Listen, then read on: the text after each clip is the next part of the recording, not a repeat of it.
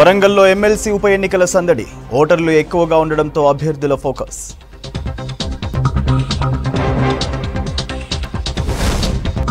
ఆదిలాబాద్లో cotton seeds కృత్రిమ కొరత. మహారాష్ట్ర రైతులకు బ్లాక్లు అమ్ముతున్నారనే ఆరోపణలు. ఖమ్మంలో ఏపీ ప్రభుత్వం ఏర్పాటుపై బెట్టింగ్లు. కోట్లలో బెట్టింగ్లు పోలీసుల నిఘా.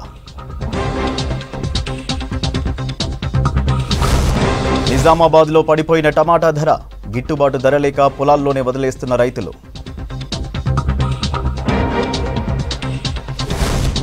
కేయూలో హోరెత్తుతున్న నిరసనలు మూడేళ్ళ బీసీ పాలనపై విమర్శలు.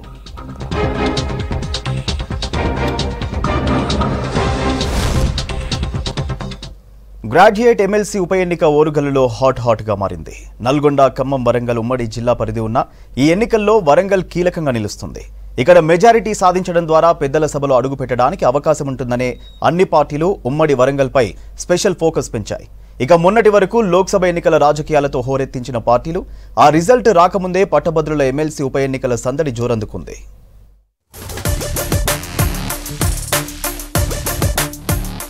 ఎమ్మెల్సీ ఉప ఎన్నికకు మే ఇరవై ఏడున పోలింగ్ జరగనుంది. అందుకు ఏర్పాట్లు చేయడంలో అధికార యంత్రాంగం తలమునకలవుతోంది మరోవైపు రాజకీయ పార్టీలు తమ ప్రచారాన్ని హోరెత్తిస్తున్నాయి. మొత్తం యాభై రెండు మంది పట్టభద్రులు బరిలో నిలవగా ప్రధానంగా మూడు పార్టీల మధ్య హోరాహోరీ పోటీ నెలకొంది.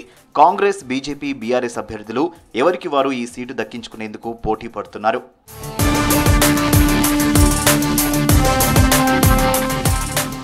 ఉప ఎన్నికల ప్రచారానికి సమయం తక్కువే ఉంది. ఎనిమిది రోజులే మిగిలి ఉంది. ఈ నెల ఇరవై ఐదు వరకే అభ్యర్థులు ప్రచారం చేయాల్సి ఉంది. తక్కువ సమయంలోనే మూడు ఉమ్మడి జిల్లాల్లో ప్రచారం చేసుకునేందుకు అభ్యర్థులు పార్టీ నేతల సహకారం తీసుకుంటున్నారు. ఈ ఎన్నికలో నలభై తొమ్మిది మంది స్వతంత్రులు పోటీ పడుతున్నారు.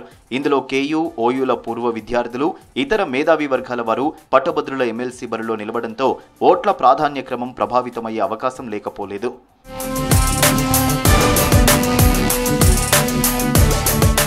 మూడు ఉమ్మడి జిల్లాల్లో కలిపి పట్టభద్రుల ఓటర్ల సంఖ్య నాలుగు లక్షల అరవై ఒక్క వేల ఎనిమిది వందల ఆరు.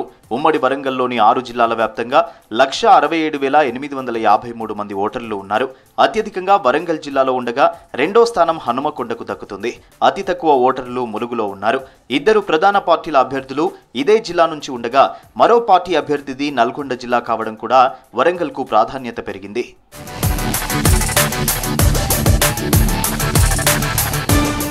బీఆర్ఎస్ పార్టీ నుంచి ఎమ్మెల్సీగా ఉన్న పల్లా రాజేశ్వరరెడ్డి జనగామ ఎమ్మెల్యేగా గెలవడంతో ఈ ఉప ఎన్నిక అనివార్యమైంది. ఈసారి బీజేపీ నుంచి మరోసారి ఆ పార్టీ సీనియర్ నేత గుజ్జుల ప్రేమేందర్ రెడ్డి బరిలో నిలిచారు. రెండు వేల ఇరవై ఒకటిలోనూ ఆయన పోటీ పడ్డారు. ఈసారి ప్రధాని మోదీ హవా సామాజిక వర్గ ఓట్లు కలిసొస్తాయని భావిస్తున్నారు. మూడు జిల్లాల పరిధిలో పట్టభద్రులు ఎక్కువ సంఖ్యలో ఉండడంతో వారు తమ వైపే ఉంటారని ధీమా వ్యక్తం చేస్తున్నారు. ఇప్పటికే నియోజకవర్గాల వారీగా పార్టీ నేతలతో సన్నాహక సమావేశాలు నిర్వహిస్తున్నారు. గుజ్జుల సైతం ఉమ్మడి వరంగల్కు చెందిన వారు కావడంతో ఈ ప్రాంత ఓటర్లను ఆకర్షించేందుకు ప్రచారం ముమ్మరం చేశారు.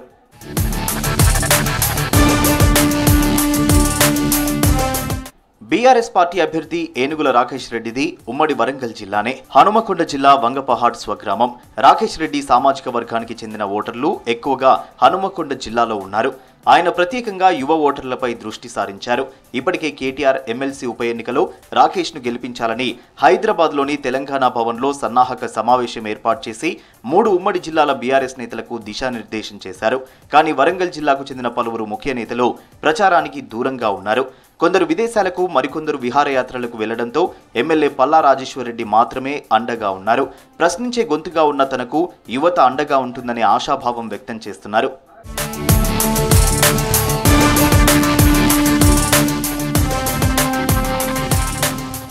ఇక అధికార కాంగ్రెస్ పార్టీ నుంచి తీన్మార్ మల్లన్న బరిలో నిలిచారు. ఉమ్మడి నల్గొండ జిల్లాకు చెందిన తీన్మార్ మల్లన్న సైతం సొంత జిల్లాతో పాటు వరంగల్ పైనే స్పెషల్ ఫోకస్ పెట్టారు. జిల్లాకు చెందిన ఎమ్మెల్యేలు మంత్రులతో సమావేశాలు నిర్వహించారు. ఎన్రోల్మెంట్ లోనూ చాలా రోజులు ఆయన టీం పనిచేసింది. ఆ జిల్లా పరిధిలో నియోజకవర్గాల వారీగా సన్నాహక సమావేశాల్లో పాల్గొంటూ కాంగ్రెస్ సీనియర్ నేతలతో కలిసి ప్రచారం చేస్తున్నారు. త్వరలో ముఖ్యమంత్రి రేవంత్ రెడ్డి మూడు ఉమ్మడి జిల్లాల్లో పర్యటించి ప్రచారం చేసే అవకాశం ఉందని తెలిసిందే.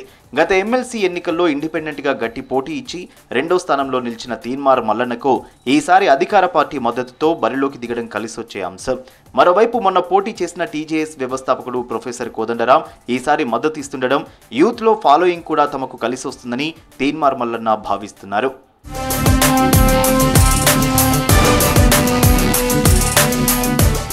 ఇలా ఎవరికి వారే వరంగల్ పైనే ఫోకస్ పెట్టడంతో గ్రాడ్యుయేట్ ఎన్నికలు వరంగల్లో హాట్ హాట్గా మారాయి. ఇరవై ఐదు వరకే ప్రచారానికి సమయం ఉండడంతో గ్రాడ్యుయేట్ ఓటర్లను తమకు అనుకూలంగా మార్చుకునేందుకు ప్రచారాన్ని ముమ్మరం చేశారు.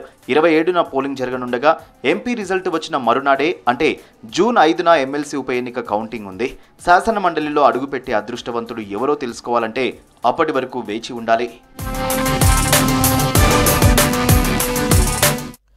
పత్తి సీడ్ కృత్రిమ కొరతతో ఉమ్మడి ఆదిలాబాద్ జిల్లాలో బ్లాక్ మార్కెట్ దందా కొనసాగుతోంది. మహారాష్ట్రలోని వ్యాపారులు రైతులకు నాణ్యమైన సీడ్ ముందుగానే విక్రయించగా కృత్రిమ కొరత ఏర్పడింది.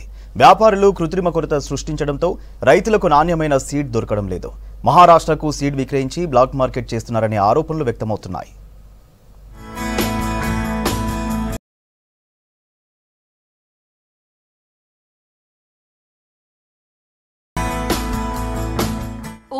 జిల్లాలో పన్నెండు లక్షల ఎకరాల్లో పత్తి సాగు చేస్తారని అంచనా వేశారు. ఇందుకోసం ముప్పై మూడు లక్షల ప్యాకెట్లు అవసరమవుతాయి.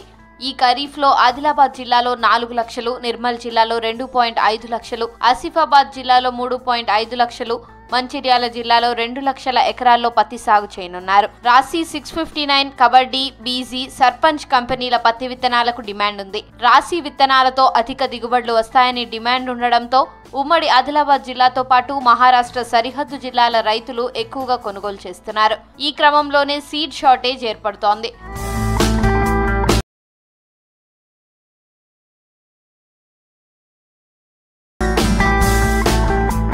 ఉమ్మడి ఆదిలాబాద్ జిల్లాలో పత్తి రైతులకు ఖరీఫ్ సాగుకు ఆదిలోనే కష్టాలు మొదలయ్యాయి. గత వారం రోజుల నుంచి దుక్కిలు దున్ని పొలాలను సిద్ధం చేసుకున్నారు రైతులు. కానీ విత్తనాలు దొరక్క ఇబ్బందులు పడుతున్నారు. గత ఐదు రోజుల నుంచి రైతులు జిల్లా కేంద్రానికి వస్తున్నారు. ఉదయం ఏడు గంటల నుంచే సీడ్స్ దుకాణాల ఎదుట క్యూ లైన్లో ఉంటున్నారు. జిల్లాలో అత్యధికంగా సాగయ్యే పత్తి విత్తనాలు లేవని నో స్టాక్ బోర్డులు దర్శనమిస్తున్నాయి. కృత్రిమ కొరత వల్ల ఎనిమిది వందల యాభై రూపాయల ధర ఉన్న ప్యాకెట్ను పన్నెండు వందల నుంచి పదిహేను వందల వరకు విక్రయిస్తున్నారు. మహారాష్ట్ర రైతులకు అధిక ధరలకు డిమాండ్ ఉన్న విత్తనాలు అమ్ముకుంటున్నారనే ఆరోపణలు వ్యక్తమవుతున్నాయి. పాండ్రకవడ బోరి కిన్వాడ్తో పాటు ఆదిలాబాద్ సరిహద్దున ఉన్న మహారాష్ట్ర గ్రామాల రైతులు ఆదిలాబాద్కు వచ్చి విత్తనాలు కొనుగోలు చేస్తున్నారు. పత్తి విత్తనాల బ్లాక్ మార్కెట్ దందాలో లీడర్ల హస్తముందంటున్నారు రైతులు. సార్ వేరే దుకాణంలో ఎక్కడన్నా పోయితే సార్ రాసి రాసి బ్యాగ్ అడిగితే సార్ వేరే బ్యాగులు తీసుకుంటేనే సార్ ఇవి ఇస్తామని కొందరు వ్యాపారులు అంటున్నారు సార్. సార్ రైతు ఏది అడిగితే అదే ఇవ్వాలా సార్ వీళ్ళు కానీ ఇస్తలేదు సార్ వీళ్ళు ఏదో ఆ లింక్ కొరకు అది మొత్తము వచ్చిన స్టాక్ అంతా సార్ లోపలికి పెట్టేసి మాకు ఇట్లా ఇబ్బంది పెడుతున్నారు సార్ వాళ్ళు.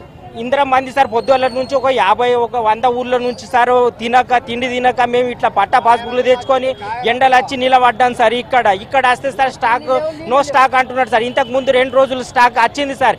ఎంత వచ్చిందని అది కూడా అడిగితే మా మాకు చెప్తలేడు సార్. ఆయన వంచినం రెండు రోజులు అంటున్నాడు.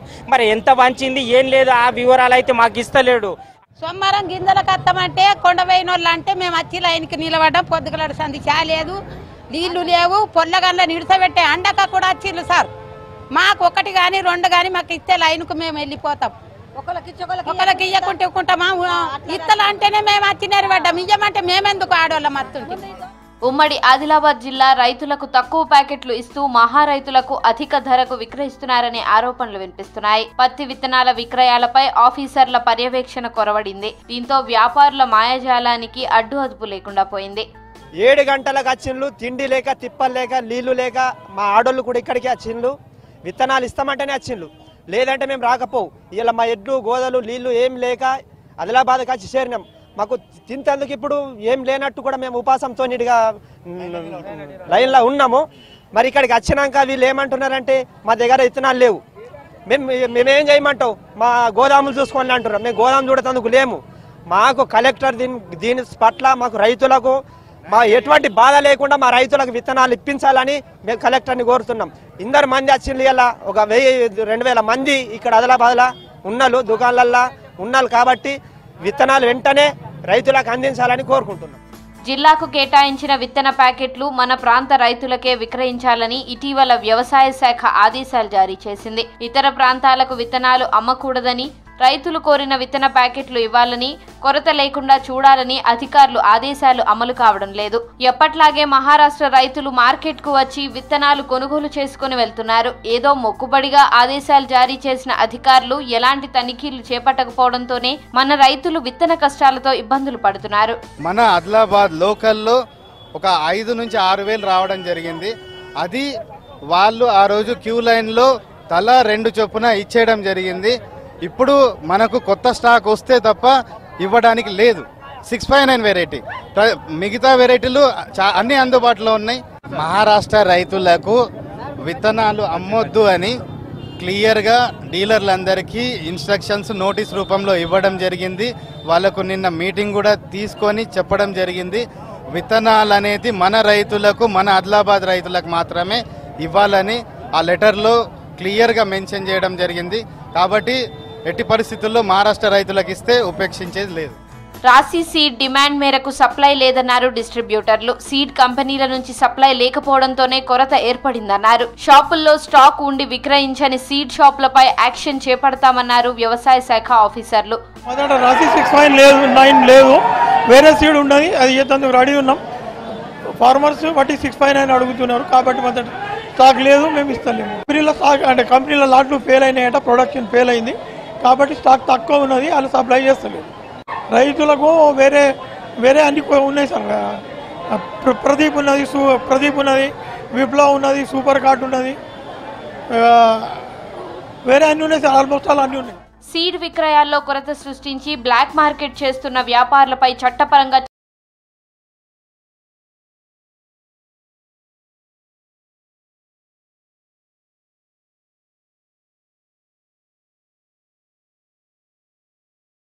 ప్రతి ధాన్యం గింజను కొంటుందన్నారు చెన్నూరు ఎమ్మెల్యే వివేక్ వెంకటస్వామి. త్వరితగితిన ధాన్యం కొనుగోలు పూర్తి చేయాలని జిల్లా కలెక్టర్తో మాట్లాడారు. వర్షాలకు రైతులు తీవ్రంగా నష్టపోయే ప్రమాదం ఉందన్నారు రైతులకు మిల్లర్లు సహకరించాలని కోరారు. ట్రాన్స్పోర్ట్ కోసం లారీలు ఏర్పాటు చేయాలన్నారు. రైతులెవరూ అధైర్యపడొద్దని ఎమ్మెల్యే వివేక్ కోరారు. నమస్కారం. ఈ వర్షాల వలన రైతుల వడ్లన్నీ కూడా వర్షంలో తడిచిపోయి నష్టపోతున్నారు. నేను కలెక్టర్ పెద్దపల్లితో మాట్లాడి ప్రత్యేకంగా వడ్లు ఏదైతే చెన్నూరు నియోజకవర్గంలో ఎక్కువగా ఉన్నాయో అవి పెద్దపల్లి రైస్ మిల్లర్స్ని వారి యాక్సెప్ట్ చేయాలని చెప్పి వారితో మాట్లాడి మళ్ళీ రోజు చాలా లారీలు అక్కడ పెద్దపల్లిలో అక్కడ హెల్డప్ అయిపోయి ఉన్నాయని చెప్పి వార్తలు వచ్చిన తర్వాత వారితో మాట్లాడి మంత్రి శ్రీధర్ బాబుతో కూడా మాట్లాడి ఈ సమస్యను పరిష్కరించాలి. తొందరగా అన్లోడ్ చేయాలని చెప్పి అందరితో మాట్లాడడం జరిగింది. ఈ ప్రొక్యూప్మెంట్ వేగవంతంగా చేయాలని చెప్పి కూడా కోరుతూ రైతులకు ఆదుకోవాలని చెప్పి అందరికీ కూడా కోరడం జరిగింది. అతి త్వరలోనే ఈ సమస్యని పరిష్కరించే దారిలోనే ఉన్నాము. రాష్ట్ర ప్రభుత్వము ముఖ్యమంత్రి గారు ఆల్రెడీ మాట ఇచ్చారు ఎక్కడైతే వడ్లు ఇంకా మామిడి తోటలు అవన్నీ కూడా నష్టపోయాయో మీ అందరికీ కంపెన్సేషన్ ఇచ్చే అవసరం ఉన్నది. త్వరలోనే రాష్ట్ర ప్రభుత్వం దీంట్లో చొరవ తీసుకొని ఒక నిర్ణయం తీసుకుంటుంది. నిజామాబాద్ జిల్లా టమాటా రైతులు ఆందోళన చెందుతున్నారు. ఆశించిన స్థాయిలో ధర లేకపోవడంతో తీవ్ర నష్టం కలుగుతోందన్నారు రైతులు. పంట కోతకు ఖర్చు చేసిన కూలీల డబ్బులు రావడం లేదన్నారు. ధరలు లేక చేతికొచ్చిన టమాటా పంటను పొలాల్లో వదిలేస్తున్నారు రైతులు.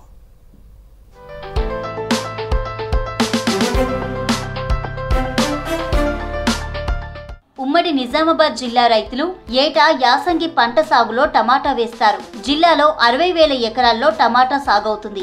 ఎకరానికి ముప్పై ఏడు వేల నుంచి నలభై వేల వరకు ఖర్చవుతుంది. నారు పోసిన నలభై ఐదు రోజుల్లో కాత మొదలవుతుంది. టమాటా కాత మొదలైన తర్వాత నెల రోజుల నుంచి నలభై ఐదు రోజుల వరకు కోతకొస్తుంది. స్వల్పకాల పంట కావడంతో ఎక్కువ మంది టమాటా సాగుకు మొగ్గు చూపిస్తున్నారు రైతులు.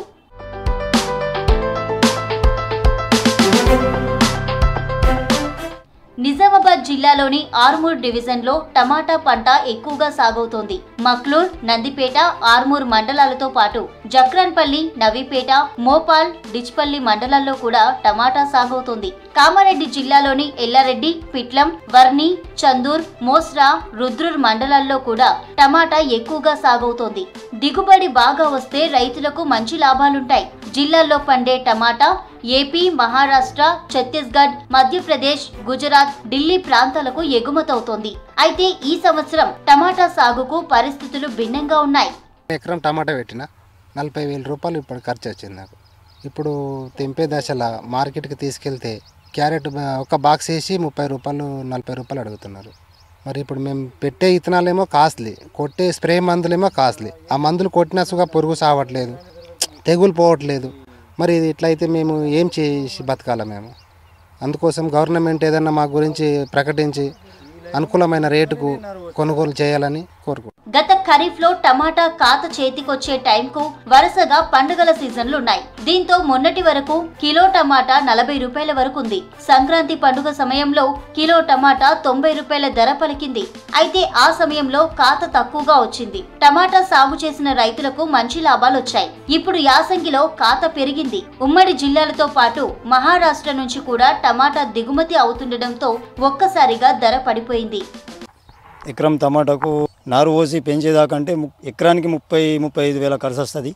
ఇప్పుడు క్రాప్ తెగే టైంలో మాకు ఇబ్బందికరంగా ఉన్నది. అయినా ఆడ కుప్పలు కుప్పలు పోసేసినాము ధర లేక. అరవై డెబ్బై రూపాయలు అమ్మితే ఒక కూలి వచ్చేసి మూడు వందల రూపాయలు ఉన్నది మాకు గిట్టుబాటు ధర అయితే లేదు. ఇక్కడ నుంచి నిజామాబాద్ బాక్స్ కొనబోదలిగే ఇరవై రూపాయల కిరాయి ఉన్నది. ఆ కిరాయి కూడా వెళ్ళది వెళ్ళకనే వదిలేసినాము. అక్కడ ఒక ఎకరం వదిలేసిర్రు. అవి మోసి కింద కుప్ప పోసినాం. మొన్నటిదాకా ఆవులకు వంచినాం. కొందరికి పేదలకు వంచేసినాం. ఇప్పటికీ కూడా పరిస్థితి మాది ఇదే ఉన్నది. ప్రస్తుతం కిలో టమాటా ధర ఆరు నుంచి ఎనిమిది రూపాయలు పలుకుతోంది. కానీ ఇరవై ఐదు కిలోల బాక్స్ మాత్రం రైతు దగ్గర వంద రూపాయలకే కొంటున్నారు దళారులు వ్యాపారులు. వినియోగదారులకు లాభంగానే ఉన్నా పంట సాగు చేసిన రైతుకు మాత్రం నష్టాలే వస్తున్నాయి. ప్రస్తుతం మార్కెట్లో మిగతా కూరగాయల కన్నా టమాటాలే ఎక్కువగా కనబడుతున్నాయి. మిగతా కూరగాయల ధరలు కాస్త ఎక్కువగా ఉండడంతో టమాటాల వినియోగం బాగా పెరిగిందంటున్నారు పబ్లిక్. ఆరు ఎకరం వేసినాం బీరది బెండ టమాటా. పదిహేను రూపాయలు అంటేనే అబ్బా అంటున్నారు. పదిహేను కిలోమీటర్ల దూరంకి వెళ్ళి తీసుకొచ్చి. మళ్ళీ ఎండకు బాగా కూలిపోతున్నాయి కూడా. సాయంత్రానికి మెత్తబడిపోతే ఇది మెత్తగా ఉందంటారు ఇక రైతు అంత నష్టమే కాబోయా పండించిన కర్మానికి. మిగిలితే మెత్తబడిపోతే ఇక్కడ గుమ్మరిచ్చి వెళ్ళిపోవడే దాన్ని తీసుకొని మళ్ళీ ఏం చేస్తాం? మళ్ళీ రేపు వేరే మళ్ళీ కోసుకోవాలి పొలం. కూరగాయల పరిస్థితి ఇప్పుడు ఆగముంది కొనే పరిస్థితి లేదు. జనాలతో కూడా రేటు పెడతలేరు అక్కువ అంటారు. మేము ఐదారు వందలు పెట్టి కొంటే పది రూపాయలు ఇరవై రూపాయలు పావు కిలో అంటే పది రూపాయలకు సుక్క కొంటలేరు. టమాటాలు అయితే తీసుకుంటే మొత్తం సాయంత్రం లోపు అన్నీ పాడైపోతున్నాయి. ముప్పైకి రెండు కిలోలు పది కిలో పోసేసినా కానీ ఇంకా చాలా ఎండకు ఖరాబ్ అయిపోయిన టమాటాలు మొత్తం పార పోసి వెళ్తున్నాం. ఇంత ఎండలో కూర్చొని సుఖం మాకేం పడతలేదు అన్న కూలి.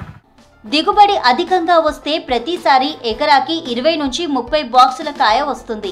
ఒక్కో బాక్స్లో ఇరవై ఐదు కిలోల టమాటాలుంటాయి. ప్రస్తుతం మార్కెట్లో రైతుల దగ్గర నుంచి బాక్స్కు వంద రూపాయల నుంచి నూట పది రూపాయల ధర ఇచ్చి కొంటున్నారు వ్యాపారులు. ఎకరం టమాటా కోయడానికి ఎనిమిది మంది కూలీలు అవసరం. మార్కెట్లో ఉన్న ధరలు చూసి కనీసం కూలీ డబ్బులు కూడా రావడం లేదంటున్నారు రైతులు. పెట్టుబడి పక్కన పెడితే కనీసం కూలీ డబ్బులు కూడా రాకపోవడంతో టమాటాలు కోయకుండా పొలాల్లోనే వదిలేస్తున్నారు.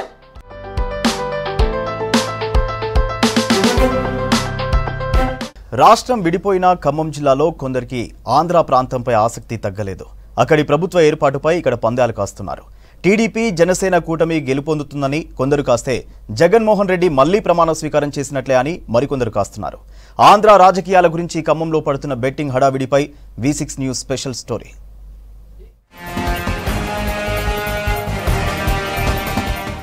తెలంగాణలో ఖమ్మం జిల్లాకు ప్రత్యేక స్థానం ఉంది ఎక్కువ భాగంలో ఆంధ్ర కల్చర్ కనబడుతుంది. అతి సమీపంలో ఆంధ్ర ప్రాంతం ఉంది కాబట్టి అనేక మందికి ఆంధ్రాలో బంధుత్వాలు ఉన్నాయి. ఖమ్మం ప్రజలు ఆంధ్ర రాజకీయాల చర్చ ఎక్కువగా చేస్తుంటారు.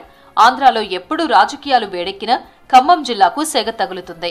ఆంధ్ర సీఎం జగన్మోహన్ రెడ్డి పాదయాత్రకు అనేక మంది ఖమ్మం జిల్లా నుంచి వెళ్ళి పాల్గొని మద్దతు తెలిపారు. చంద్రబాబు అరెస్టు సమయంలో అనేక మంది ఖమ్మం జిల్లా నుంచి వెళ్ళి ఆందోళనల్లో పాల్గొని సంఘీభావం తెలిపారు.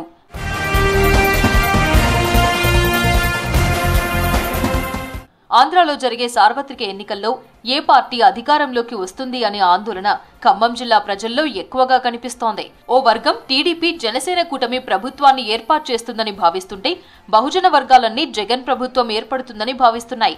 ఎక్కడ ఏ నలుగురు కలిసినా ఆంధ్ర రాజకీయాల గురించే చర్చ నడుస్తోంది. జగన్ వర్సెస్ బాబు అనే విధంగా ప్రతి నలుగురిలో ముగ్గురు మాట్లాడుకుంటున్నారు. బాబు వస్తే రియల్ ఎస్టేట్ పుంజుకొని పెట్టుబడులు పెట్టాలని కొందరు భావిస్తుంటే జగన్ గెలిస్తే బ్రాండెడ్ మద్యం కోసం ఖమ్మం జిల్లాకు వచ్చి కొనుగోలు చేసేవారి సంఖ్య పెరుగుతుందని మరికొందరు భావిస్తున్నారు. వ్యాపార పరంగా కొందరు బెట్టింగ్లకు పాల్పడుతుంటే మరికొందరు సామాజిక వర్గాలుగా విభజించబడి బెట్టింగ్లకు పాల్పడుతున్నారు.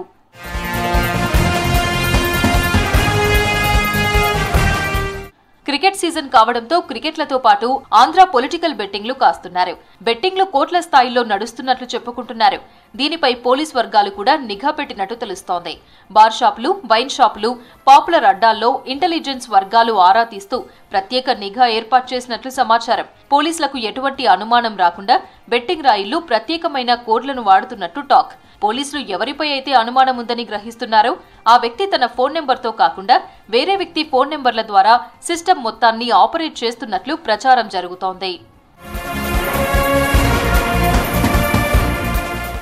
ఆంధ్ర రాష్ట్రంలో జరిగిన ఎన్నికలు ఇప్పుడు బెట్టింగ్ రాయులకు వరంగా మారి అమాయకుల జేబుకు చిల్లులు వేసేలా ఉన్నాయి.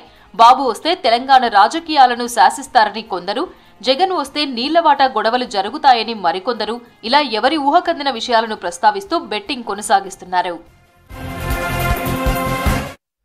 వచ్చే నలభై ఎనిమిది గంటల్లో రాష్ట్రంలో అక్కడక్కడ తేలికపాటి నుంచి మోస్తరు వర్షాలు కురిసే అవకాశం ఉందన్నారు వాతావరణ శాఖ అధికారులు. రాష్ట్రంపై ద్రోణి ప్రభావం తగ్గిందని తెలిపారు. దీంతో ఇవాళ రేపు పగటి ఉష్ణోగ్రతలు పెరిగే ఛాన్స్ ఉందన్నారు. తిరిగి రెండు రోజుల తర్వాత అక్కడక్కడ వర్షాలు కురుస్తాయన్న అధికారులు పలు జిల్లాలకు ఎల్లో అలర్ట్ జారీ చేశారు. మరోవైపు ఈ నెల చివరి వరకు రుతుపవనాలు కేరళని తాకి జూన్ మొదటి వారంలో తెలంగాణలోకి ప్రవేశించే అవకాశం ఉందని తెలిపారు అధికారులు. యాదాద్రి భువనగిరి జిల్లాలో ఇవాళ్టి నుంచి యాదాద్రీషుడి జయంతి ఉత్సవాలు ప్రారంభం కానున్నాయి. ఈ నెల ఇరవై రెండు వరకు జరగనున్న శ్రీ లక్ష్మీ నరసింహుడి ఉత్సవాల నిర్వహణకు అన్ని ఏర్పాట్లు పూర్తి చేసినట్లు ఆలయ అధికారులు తెలిపారు. ఈ సందర్భంగా యాదాద్రి నరసింహుడిని దర్శించుకునేందుకు పెద్ద ఎత్తున భక్తులు రానున్నట్టు అంచనా వేశారు. వారికి ఎలాంటి ఇబ్బందులు తలెత్తకుండా చర్యలు తీసుకోవాలని సిబ్బందిని ఆదేశించారు.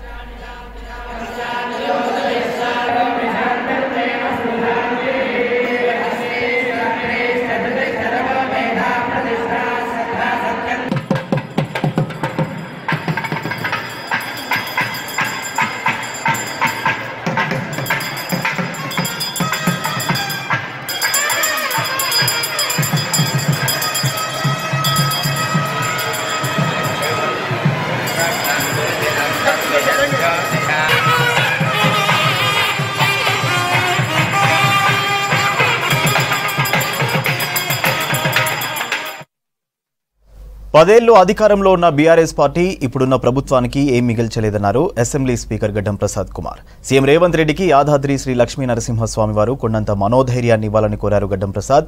కాంగ్రెస్ ప్రభుత్వానికి స్వామివారి ఆశీస్సులు ఉండాలని ఆకాంక్షించారు. యాదాద్రి స్వామివారిని దర్శించుకున్నారు స్పీకర్. కాంగ్రెస్ ప్రభుత్వంలో రైతులకు మంచి జరగాలని స్వామివారిని ప్రార్థించినట్టు తెలిపారు గడ్డం ప్రసాద్.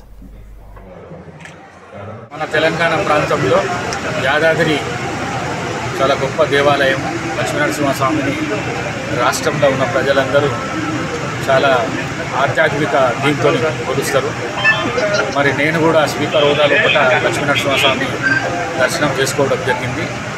ఈ రాష్ట్రంలో వర్షాలు లేక మరి ఇంతకుముందు ఉన్న పది సంవత్సరాలు ఉన్న ఏదైతే ప్రభుత్వం ఉండేనో ఆ ప్రభుత్వము ఇప్పుడున్న ప్రభుత్వానికి ఏం నిలకుండా చేసింది కాబట్టి లక్ష్మీనరసింహ స్వామి గారితో కోరడం ఏంటంటే ఈ ప్రభుత్వంలో ఉన్న ముఖ్యమంత్రి ఎవరైతే ఉన్నారో రేవంత్ రెడ్డి గారు వారికి మనోధైర్యం ఇవ్వాలి మంచి రాజ్యం ఏలాలి అందరికీ న్యాయం జరగాలి.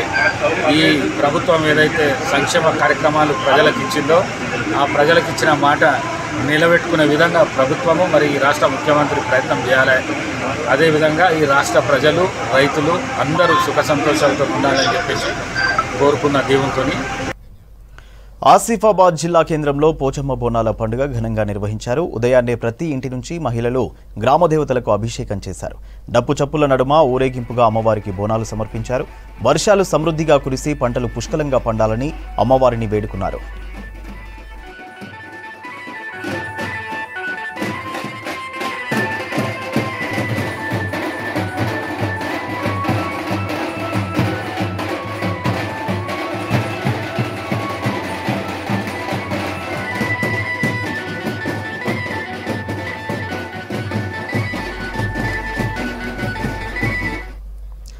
జాతి వైరాన్ని మరిచి ఒకదానిపై ఇంకొకటి చూపిస్తున్న ప్రేమకు ప్రజలంతా ఆశ్చర్యం పోయారు కొత్తగూడెం జిల్లా ఆర్టీసీ బస్టాండ్ ఇన్ గేట్ దగ్గర ఓ కుక్క కొండముచ్చు సరదాగా ఆట పట్టించుకుంటూ కనిపించాయి. దీంతో అందరి చూపు వాటి స్నేహబంధం మీద పడింది. సాధారణంగా కోతులను కొండముచ్చులను చూస్తే కుక్కలు వెంటపడి తరుముతూ ఉంటాయి. ఇందుకు భిన్నంగా ఒకదానితో ఒకటి కలిసి ఆడుకుంటుంటే స్థానికులు ఆశ్చర్యపడుతూ చూశారు.